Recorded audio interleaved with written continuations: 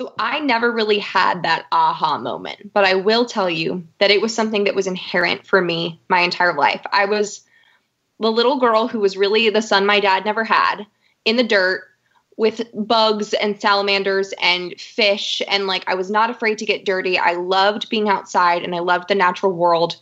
I grew up around animals and I was always interested in living things. And so that really translated into a love of biology. And my parents did a really good job of helping me understand that what I was liking so much as a kid was really science.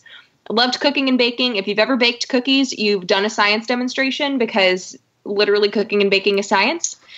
And so when I started to think about all of the different careers that I could take, they were always science. Like it wasn't even like, hmm, what science career can I take? I was like, I want to be a marine biologist, and then I want to be a meteorologist, then I want to be an engineer or a food scientist, and they were all science related. And I'm grateful. I did go to a lot of science camps as a kid, and I think that my parents saw my inherent interest, and so they did a really good job of fostering that. And for that, I'm really grateful because I think that a lot of, especially young women, that the people around us are the ones that can either make or break our love of science. And so I was in a really great spot to continue that. And so I changed what I wanted to do about a hundred times, but it was always somewhere around the middle line of STEM.